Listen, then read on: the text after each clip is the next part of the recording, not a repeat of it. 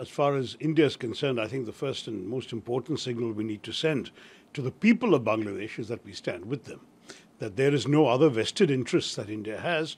We have interests, obviously, in a peaceful, prosperous Bangladesh, but we are with the people. We stand for uh, their right to determine their own political destiny and their own representatives. Mm-hmm. Having said that, we obviously have to be very much on alert. There are some disturbing reports coming, as you know, of attacks on on Hindu uh, homes, temples, and individuals.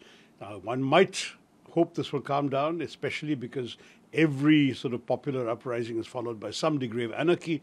We all saw the pictures of looting, etc., yesterday. It may calm down and stabilize in a couple of days, in which case we don't have to worry. If it doesn't, then of course there is a risk even of refugees fleeing to our country, and that would be a matter of grave concern. Third, obviously, I'm sure that our High Commissioner and our staff there are safe and they're monitoring the situation closely.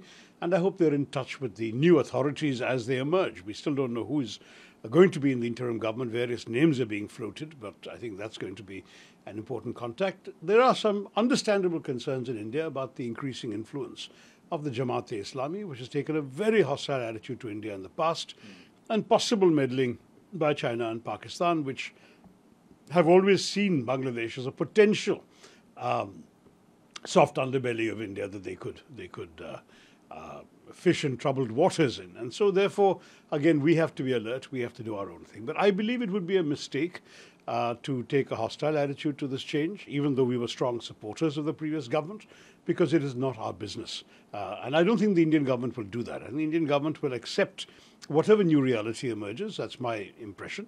And that they would actually work seriously with the uh, the new authorities because peace and progress in Bangladesh is not only in the interests of the Bangladeshi people, it's also in our interests. We don't want an unstable or an unfriendly neighbor.